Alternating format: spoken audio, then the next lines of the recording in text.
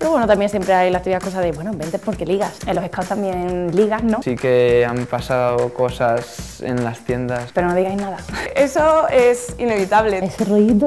Pues me escapé de la zona de campamento para estar un ratillo con él. Cuando llegas el sábado, Claro, somos gente joven, Hay mucha marcha, mucho cachondeo. salimos de fiesta. que los scouters también podemos hacerlo y es el mayor subidón. Saca tu lado scout.